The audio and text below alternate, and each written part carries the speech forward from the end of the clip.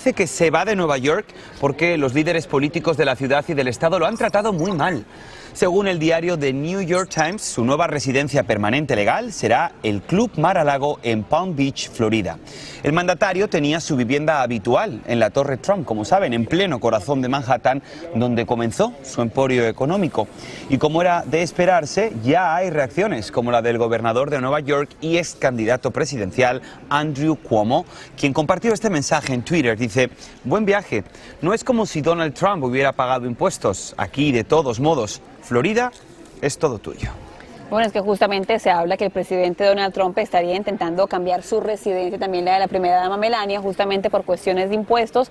Pero si nos fijamos bien en los últimos meses, el presidente Donald Trump ha estado 99 días en su casa de Mar-a-Lago y ha estado 20 días solamente en la Torre Trump. Sin embargo, en Nueva York, para que una persona pueda evitar pagar impuestos, tiene que estar menos de 180 días en Nueva York. Así que si se queda más tiempo ahí, no podría evitar esos impuestos. Claro, fíjate que los funcionarios de la Casa Blanca, como tú bien dices, no, no han dicho la razón oficial de este cambio, pero se sabe por lo pronto, y esto es un dato interesante, que Florida es un estado que no cobra ni el impuesto de la renta ni tampoco de la herencia. Exactamente.